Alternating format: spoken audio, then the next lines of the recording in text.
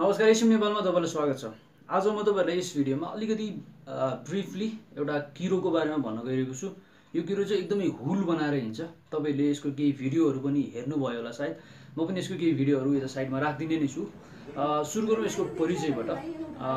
यसलाई इङ्ग्लिसमा चाहिँ लोक्टस स्वाम भनिन्छ। र यो चाहिँ एकदमै हुल बनाएर हिँड्छ र यसले एकदमै क्षति पुर्याइरहेको छ।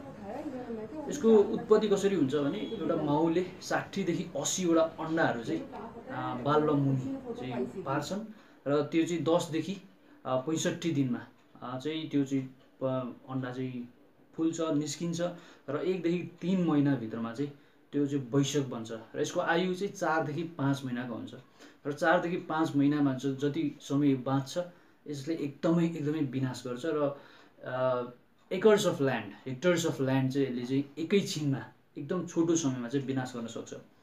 अब यो कहाँबाट आयो यो समयमा भन्दाखेरि चाहिँ कोरोनाको यो महामारी चलिरहेको बेलामा अफ्रिकन देशहरूबाट चाहिँ यो आएको भन्ने मानिन्छ र अहिले बिस्तारै अफ्रिकन देशहरूबाट चाहिँ यो चाहिँ सर्दै सर्दै चाहिँ पाकिस्तान हुँदै इन्डियासम्म आइसकेको छ।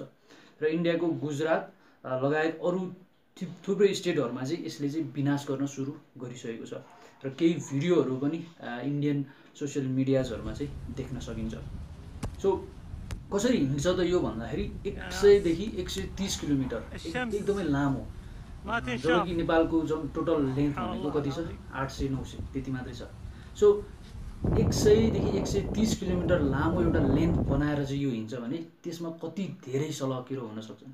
तपाईँलाई म एउटा इक्जाम्पल दिनु पर्दाखेरि एक किलोमिटरमा पाँचदेखि आठ करोड सलकिरो हुन्छन्। त्यसले चाहिँ दिनमा चाहिँ अब धेरै खाँदैन दुई ग्राम खान्छ एउटाले। तर त्यसलाई यदि दिनमा हेर्ने हो भने एक लाख बिस हजार केजी एक लाख बिस हजार केजी चाहिँ एक किलोमिटरको सलकिरोको लेन्थले चाहिँ खाइदिन्छ। र खानु त आफ्नो ठाउँमा छ। उनीहरूले कन्जम्सन गर्ने आफ्नो ठाउँमा छ। त्योभन्दा नि ठुलो कुरो चाहिँ के हो भन्दा यसले क्रपलाई पुरै नष्ट गरिदिन्छ क्या।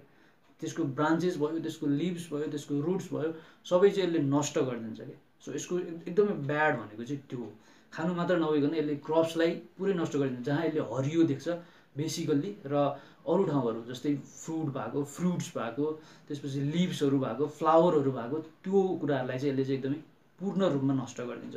र एकर्स अफ ल्यान्ड तपाईँलाई म एउटा इक्जाम्पल दिनुपर्दा अहिले मात्रै भर्खरै केही दिनमा मात्रै यसले फाइभ ल्याक्स हेक्टर्स अफ ल्यान्डमा चाहिँ फलिरहेको फलहरू फलिरहेको बालीहरूलाई चाहिँ इन्डियामा नष्ट गरिसकेको छ।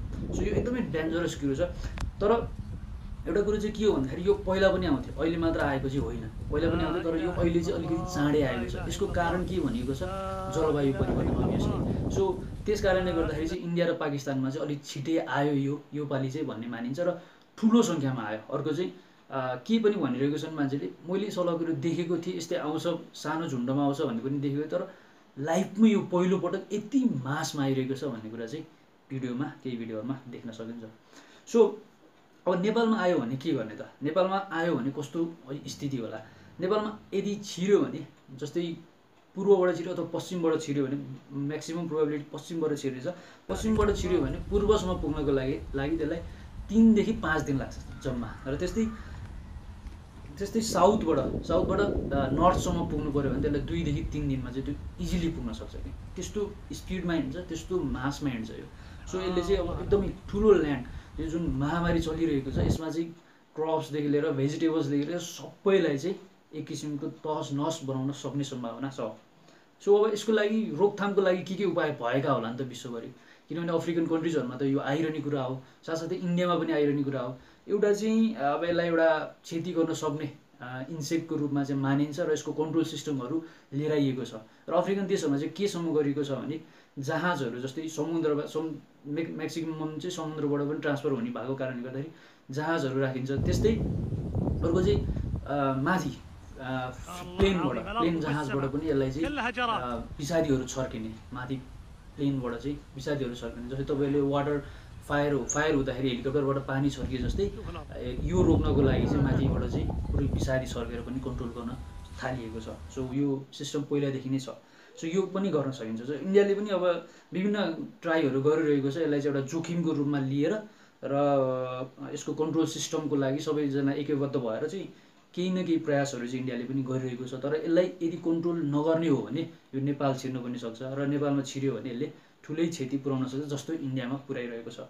सो अरू भनेको यसको एउटा नेपालमा छिर्न नदिनको लागि चाहिँ यसको ट्र्याक मुभमेन्ट गर्न सकिन्छ। कहाँबाट चाहिँ यो कसरी कसरी चाहिँ इन्डियामा चाहिँ ट्रेस भइरहेको छ त्यो कुराहरू हेर्न सकिन्छ र यसले चाहिँ कहाँबाट छिर्न सक्छ त्यसमा चाहिँ अलिकति सतर्कता बनाएर हामीले चाहिँ केही कन्ट्रोल सिस्टमहरू र यी विषादी छर्कने कुराहरू यी विभिन्न कुराहरू चाहिँ गर्न सक्छौँ।